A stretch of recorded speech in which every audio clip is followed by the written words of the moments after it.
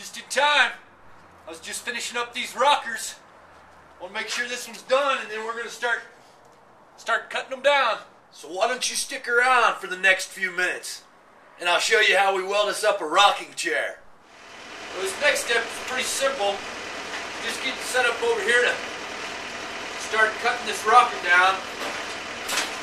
We'll be able to get three individual rockers out of this 10 foot piece. I'm going to start by cutting off this flat spot that was left when we rolled these things out.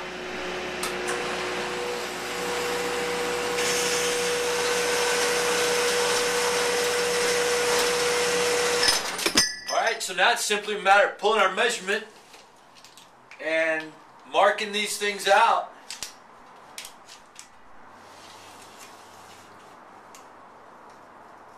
Go ahead and see if we can't pull all the way around.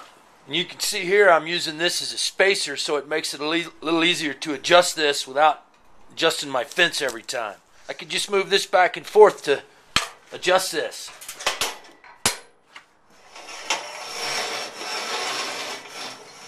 Roll it around.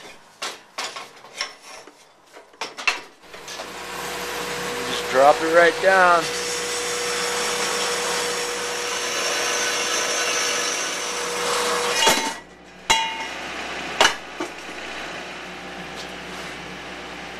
And we'll do it again.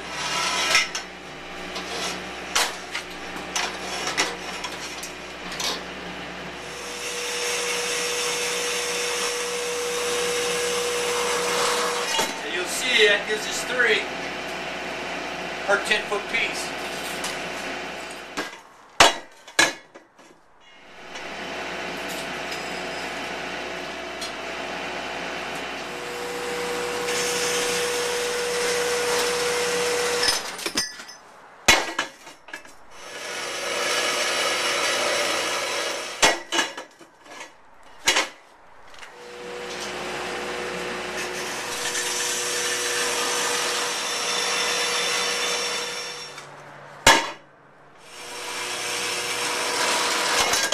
All right, then, that makes six.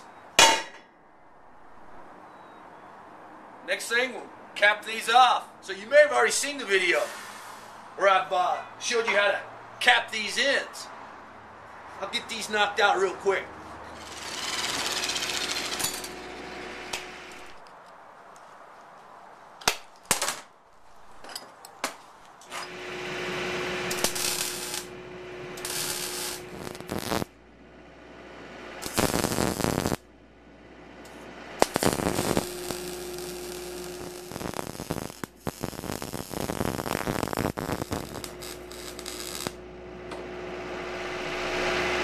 Well, that's all six of them.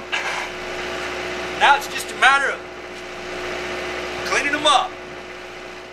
Now be sure to click subscribe and come on back next time and I'll show you exactly how we weld these on to these. This has been Mitchell Dillman with LogFurnitureHowTo.com. We'll see you again next week.